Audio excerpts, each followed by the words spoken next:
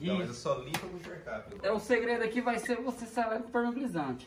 Entendeu? O produto vai limpar do mesmo jeito, né? Vai tirar, vai ficar novinho, entendeu? Mas primeiro tem que passar isso aí. Tem. claro. Passa ele todinho para preparar o piso para receber o brilho. O brilho é como se fosse uma base de unha que você passa, sela e ele vai voltar a ter brilho, entendeu? Aí seu pano vai voltar a correr no, no piso. No verniz, né? Então vamos lá.